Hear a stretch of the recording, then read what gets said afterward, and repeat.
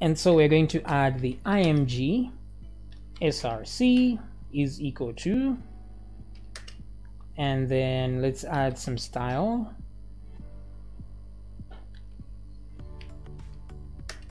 And then we can close that part out. Okay?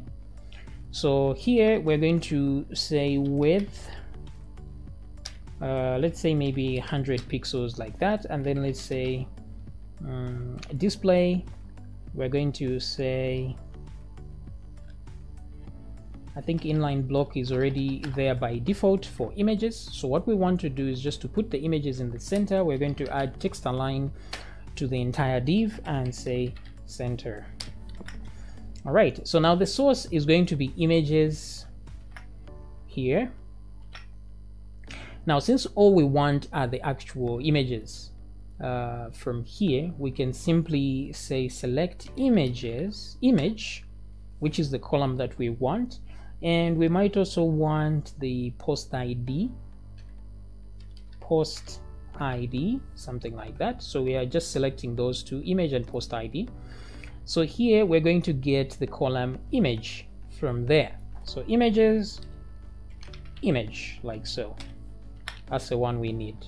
All right so let's see what we get so far. If I refresh the page unidentified index image. Okay so we have to go back here and make sure that there is a column called image. There it is. Okay. So what happens? What's the problem here from posts uh, okay so in this case what we could do is simply echo it out. So we're going to say print r so that we see what exactly we have received in there. So I'm going to do that and refresh the page. All right so that's because we have again we have that zero there. So my bad for the second time. So what we want to do if this is an array let's loop through it because this is an array in an array. So we're going to say for each images as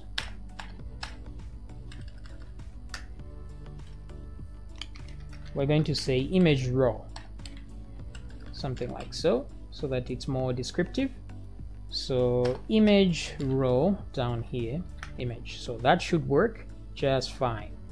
There we go. So we have an image over there but uh, let's give it some styles uh, let's say margin for example let's give it a margin of 10 pixels so that if there are many it can uh, mm -hmm. very nice now the problem here is that uh, we are displaying the full image but we want the uh, the thumbnail version on this part so what we do oh and actually this is outside the for each loop which is weird. That's why only one is showing I guess. So let's go there. And okay there we go. So we have all the three images showing over here which is good. But because they are not thumbnails they don't look so good. They're not ordered in the correct way. So what we want to do is create the images images uh, class something like that. Or we're just going to say image class is equal to new capital image like so because this is the class that is responsible for giving us thumbnails. So what I will do here because I'm going to do a get thumbnail here so I will close that up concatenate with a full stop and uh, so I've put a double quote here to make one string and join to this and make the other. So in that case, I need to put my inverted commas back in there. But also, now I can add images class and point to get thumbnail. I hope that's actually the uh, the function name, but if it's not, I can always check. We'll see if it gives me an error code to an identified method get thumbnail. Right so as I thought uh, that one does not actually exist. Mm -hmm. so what I could do is open the file that uh, can show me what is contained. So let me go to the classes and let me go to the image class. So in any case that you forget what the class name is just uh, go in there into the classes and see what the function names are. So there's get thumb. So it's probably get thumb get thumb profile and get thumb post. So that's the one I probably want. So I'm going to say get thumb post like so. And refresh. And there we go. We have our images now we could make the images a little bit bigger so let me go up here and say 150 maybe mm -hmm. something like that so when you click on photos, you see the photos of the user. When you go to the timeline, you go to the actual timeline. And let me go to one of these profiles for this friend here. And let me go to their photos. Oh, and it takes me back to this page.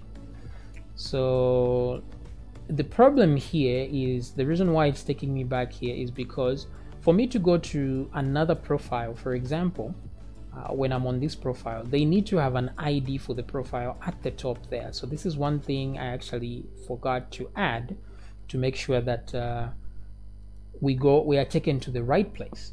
So to edit that, we're going to go to where the menus are on the profile.php page. So the menus are right here.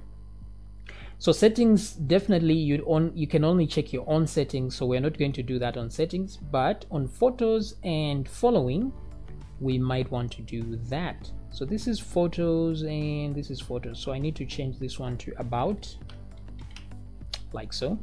But on photos what I will do is put a uh, question mark and say ID is equal to all right so now here we can add the ID using the PHP tags, PHP, and then we're going to echo uh, the current user. So we're going to say user user data and then user data we're going to add um, ID it's actually user ID like so. And then let's close that up. So let me see if it actually works here. Let me refresh this page. And then there's uh, photos. Uh oh what's happening here?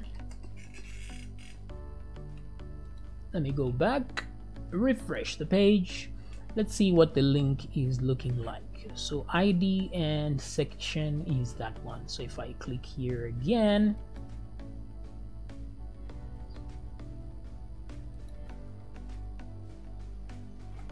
I don't get what this is going, what this is doing. All right, so let's go back and troubleshoot a little bit here. So if I remove the section is equal to, oh, actually, so I see what's going on. So the question mark here is the problem. I've added two question marks, so I'm supposed to add an and sign there. Okay. So my bad. Simple mistakes that we make. So let me refresh again and then I'm going to hit photos. There we go. So now something. No images were found so what I want to do is add a little bit of space between this error message and what's at the top there so I will go back to um, where is this profile content default profile content photos so in here, I'll add a div inside a div. So I will do this. I'll say div, and then I'm going to delete the closing div and put it at the bottom. So I'm simply going to duplicate this one, and then I can tab these guys in so that it's more ordered. And then I'll add a style here where I'm going to say padding so that I can add the padding to this one and it won't extend. So I'm going to say 20 pixels for padding. And then I can now refresh and everything goes back to the center. Okay so so far so good no photos no images were found. And if I go back to my own profile and hit photos I'll see that I have these photos here which is uh, pretty good. And so there should be a way to go back to the actual page to my actual page. So maybe I can put that on my name here so that if you click on my name it goes back to the original place. So in order to do that uh, let's go back here. Okay and all we need to do is remove the section part and then we are uh, good to go. So let me go to profile.php and where the name is. Uh, where is the name of the user? That should be just above the all right instead of looking for this let me yeah there we go. Let me search. First name last name.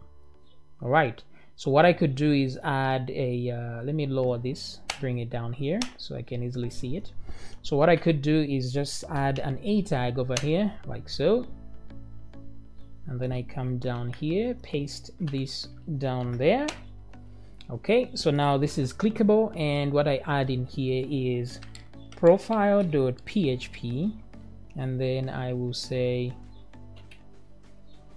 uh, ID is equal to and then I'll get whatever the user data is at that time. So I'm going to say user underscore data user ID like so. And that should do it. So if I refresh I'm at uh, photos. Okay so there's a syntax error of course I didn't uh, I forgot to close the tags. Common mistake. There we go. So now when I click on that one I go back to my uh, profile and then when I click on photos uh, it shows me the photos. So now here we're supposed to be able to see following and followers. So I will add that extra uh, there's following here so I need to also copy and this part to all of these guys. So let me copy this and put it here. And the about as well. Mm -hmm. except the settings. And then on following I will add follow words. Okay this will be easy to add as well. And there we go. So let me see how that looks like now so timeline about following uh, uh following yes and one of them should be followers. So this one has followers on the link so the actual text should be followers like so. And so let me refresh. There we go. So timeline about followers following photos and finally settings. Okay so we're done with this. Now what we want is to be able when we click on this item on one of these photos we are taken to an actual post that this person actually did for this image. So